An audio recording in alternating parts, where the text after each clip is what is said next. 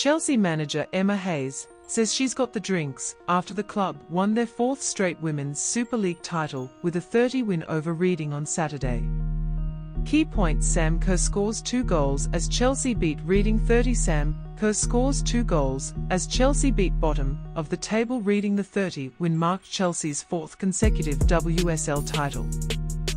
The win marked Chelsea's fourth consecutive WSL title. Kerr was named Female Player of the Year by Football Writers this week. Sam Kerr scored twice, while Guro Reiten was also on target, secure victory the Blues needed to stop Manchester United's fight win England's top flight for first time. The victory doubled a league and FA Cup after Chelsea beat United 10 at Wembley earlier this month. And they came close to three after narrowly missing Barcelona in the Champions League semi-finals. Drinks on me. I'll order a drink. Hayes said. I hope they have a great time, they deserve it. Chelsea's reign of domestic dominance has been severely challenged this season, as United, Arsenal and Manchester City have pushed them in a four-way title race into the final weeks of the season.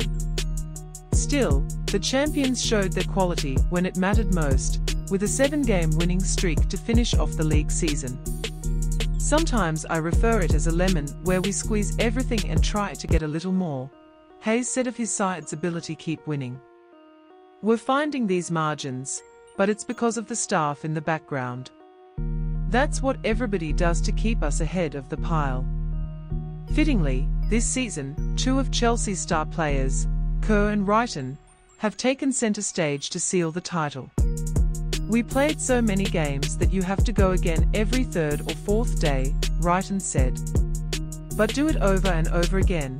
We dig deep, Find that special moment to win the games, and yes, we're fine.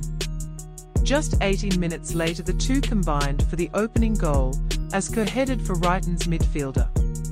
The Norwegian midfielder then passed between the legs of goalkeeper Grace Mali, making the half 20. Kerr was named Women's Player of Year by Football Writers this week, and she hit her 29th goal of the campaign in all competitions two minutes later, touching home on second attempt.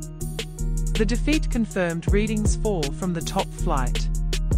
United won Liverpool 10 thanks to Lucia Garcia's goal, but finished two points behind Chelsea. The Red Devils women's team was formed just five years ago and will play in the Champions League for the first time next season. United and England goalkeeper Mary Earps said I think we've maximised our potential to run to the wire with Chelsea. It's nice to be close, but we know we still have a long way to go. I'm hungry for success. Now I want to go and win the Champions League. Arsenal finished third and last ahead of City in next season's Champions League despite losing 20 to Aston Villa at home.